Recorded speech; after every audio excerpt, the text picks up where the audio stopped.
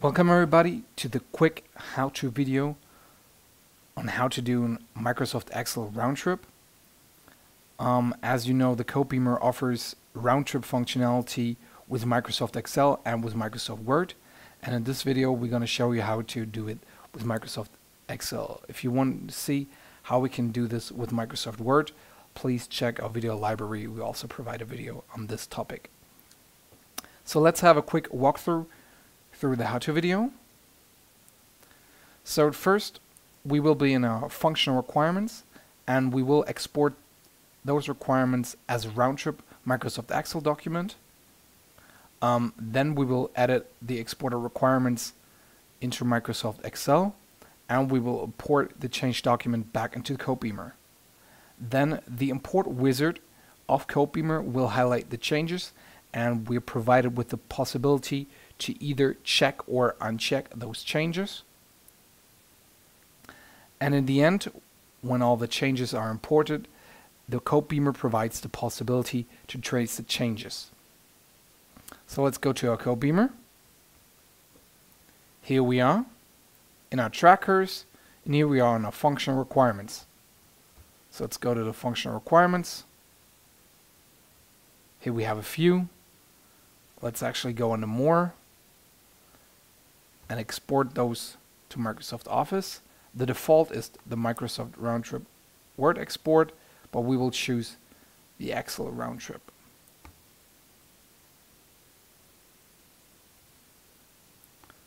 So this is the document and our requirements have a certain business value so let's change the business value right here to should have and do a quick edit on those values as well. Moreover, we have a status which is really new.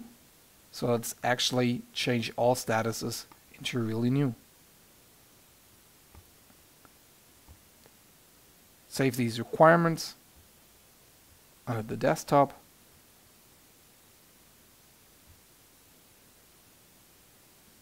And let's go back to our Codebeamer. Now we once again we will go on to more. Then we will go to import.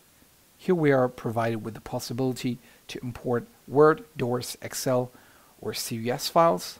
Let's import some Excel files and just import the documents we just have edited. Click on next.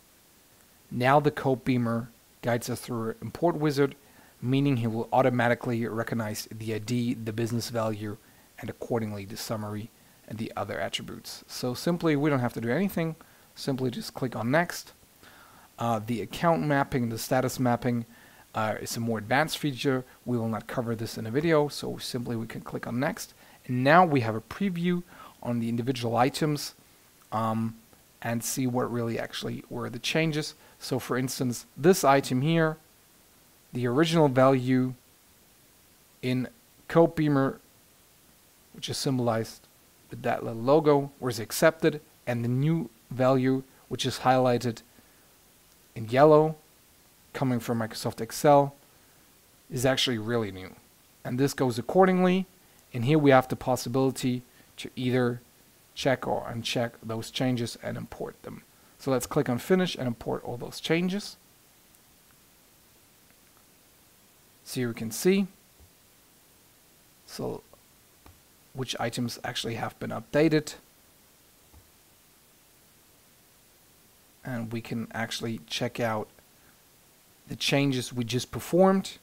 So you can see there was the original and now we have changed it into should have. Also I can only check out the different fields Moreover, as the Codebeamer provides full traceability, so let's go to the carbon fiber plastic structure and let's check out its history. See, always can see who has done what on what particular point of item, since each artifact in the Codebeamer comes, its own, comes with its own history. Thanks for watching.